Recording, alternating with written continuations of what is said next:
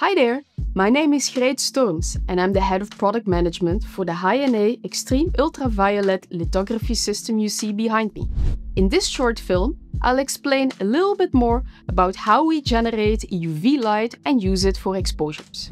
Let's travel through the guts of the machine to where it all starts, the source vessel. Let me pause it right here. We are now in the part of the machine where we generate EUV light.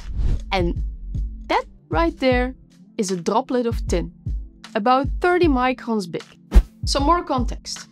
These machines use a laser-produced plasma source to generate EUV light.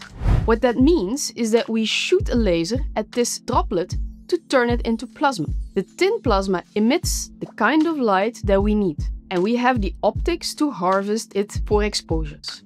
So we start by making ourselves a pancake. A series of sensors and cameras work together to aim a low-intensity laser pulse at the tin droplet, hitting it dead center.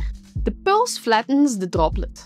Throughout our research, we found that the flat shape boosts the amount of EUV light we can get out of it. Next up, it's fireworks, pausing it.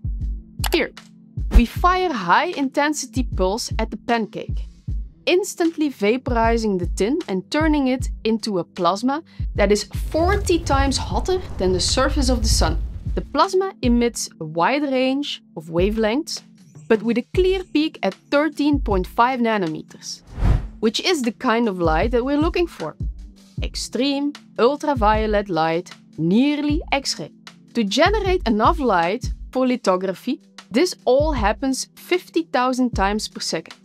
Finally, we capture the light with a big parabolic mirror called a collector, and the EUV light is sent into the lithography system for imaging. And that's how we generate EUV light for lithography. Thanks for watching and see you in the next film.